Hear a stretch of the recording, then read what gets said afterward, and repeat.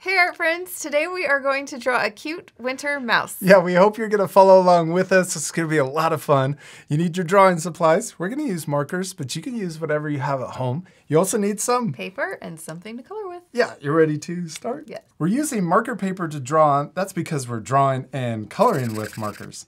Let's first start by drawing our little mouse's nose. We're gonna draw it right here in the middle of our paper. I'm gonna draw the letter V. Pretty small because we want our mouse to be super cute. We'll draw the top of the nose. Then we're going to draw a circle for one eye on the left. Then we're going to draw the same size circle for the eye on the right. And then let's draw a small circle in the top left of each eye. This is for the little shiny part to make the eyes look even cuter. Then we're going to draw or color in the big circle and leave the little circle white. We also colored in the nose and we sped that part up. So remember, if you need extra time, you can always pause that video. Yeah. Okay, now let's draw our mouse's hat, a winter hat. We're gonna draw a curve that goes over the top of the eyes. We're gonna start here on the left and we're gonna draw a curve that comes over. Oh, we're gonna draw a really big mouse. we're gonna fill our paper. It's gonna look really cute. Yes. Okay, then let's draw the body. We're going to draw it coming down like this, and we're going to go just below the eyes on each side. Yeah, and then let's draw the scarf. We're going to draw a curve that comes over and connects to the other side also. And I'm going a little past on each side. This, side, this little line right here could maybe even come down a little further if you want, so they're equal on both sides. Yeah, there you go. And then connect with the curve for the top of the scarf and start just outside and go just past it on this side. Yes. Okay, now let's draw the hat. We're gonna start on the side of the mouse's head. Right here, we're gonna go past this little curve. And then we're gonna come up for the hat. And then we're gonna come back down. And then right here, we're gonna go past and then into the side of the head. Kind of looks like a little mushroom. Good job. Okay, now let's draw the ears sticking out of the hat. I'm gonna draw a curve. Well, we're gonna get really close to the side of the paper. We're gonna curve around and then we're gonna connect back into the hat. Yes. And then let's create that same shape and try to match the same size over here. So I'm gonna use my eyes draw kind of imaginary line over to this side. And we're going to come up to the same height, down, curve back into the hat in the same place. Yours is my favorite. It's super cute. Oh, thanks. Okay, I'm going to add a little pom-pom on the top. You're really close to the top of the paper, so you could draw maybe a smaller pom-pom. I'll draw a small one too. You could draw a really big one if you have lots of room. Draw a little zigzag that goes around in a circle. You could also leave the pom-pom off. You could even add extra details to your mouse too. Oh, I think we should add whiskers next. Good job, you did it. Okay, let's add the whiskers. I'm gonna draw one, two, three, and one, two, three on this side. Next, let's draw the scarf. And we're gonna draw on top of the whisker. That's okay. We're gonna draw come out and then we're gonna come down and I'm gonna do the same thing over here. Out and then down.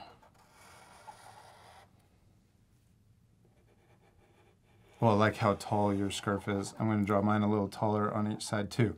And then let's connect these two lines together with a curve also.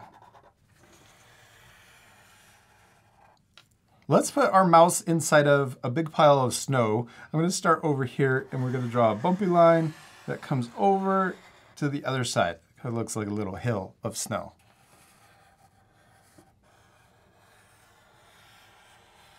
Now let's draw the body coming out of the scarf and into the snow on each side. And we can also draw the little fingers for our mouse. I'm gonna just draw three fingers. So I'm gonna draw one, two, three, hanging on to the snow, and three little fingers over here too.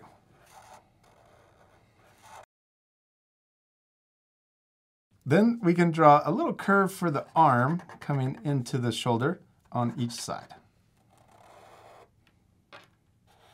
What's our mouse missing? A tail. Yeah, let's add a little tail coming out of the snow. I'm gonna draw it curving out this way, the back this way, and then I'm gonna also curve it down.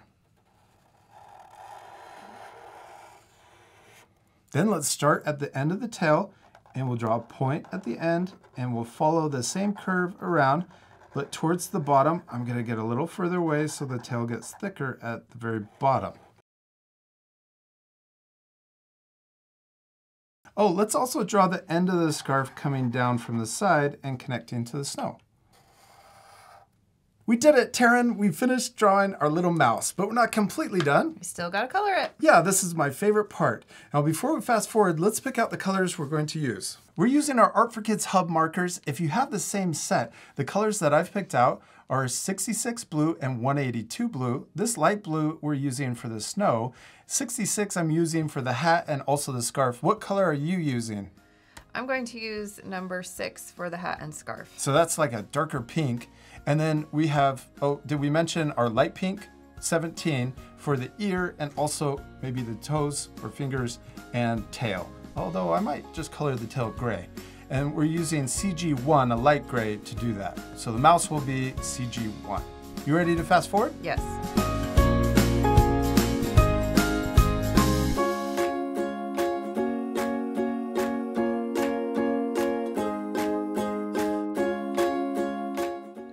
We did it! We finished coloring and drawing our winter mice. And they turned out awesome. I especially love yours, Teryn. And I love that you changed the colors and you even added eyelashes. I also added little snowballs to mine and you can add even more details. You could add a background. You could even change your mouse and add maybe a sweater. Or even change the pattern on the hat and scarf. Oh yeah, we added stripes, but you could add polka dots or even a completely different pattern. Maybe lots of hearts.